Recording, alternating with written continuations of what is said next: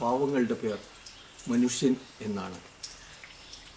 അവൻ എല്ലാ രാജ്യത്തും കിടന്ന് കഷ്ടപ്പെടുന്നു എന്നല്ല അവൻ എല്ലാ ഭാഷകളിലും നിലവിളിക്കുന്നു. അറിഞ്ഞിരിക്കേണ്ട ഒരു കഥയുണ്ട്.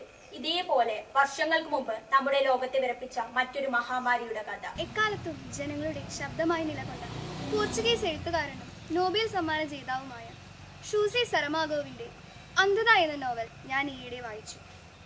ഇന്നത്തെ സാഹചര്യങ്ങളോട് ഏറെ ബന്ധമുള്ളത് കൊണ്ടാവാം. അതെന്നെ വളരെയധികം സ്വാധീനിച്ചു. അതിജീവനത്തിന്റെ കഥ പറയുന്ന മരങ്ങൾ നട്ട മനുഷ്യൻ എന്ന പുസ്തകമാണ് ഞാൻ നിങ്ങൾക്ക് മുമ്പിൽ പരിചയപ്പെടുത്തുന്നത്. എന്തിനേറെ അടിത്തറയിൽ നിന്ന് അരുന്നതേക്ക് ആ തലക്കെട്ടിൽ തന്നെ നാം സൂചനയുണ്ട്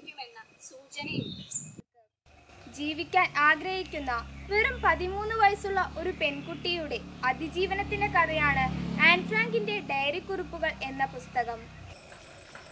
അതിജീവിക്കണം. അതുകൊണ്ട് ഞാൻ വായിക്കുക തന്നെ ചെയ്യും.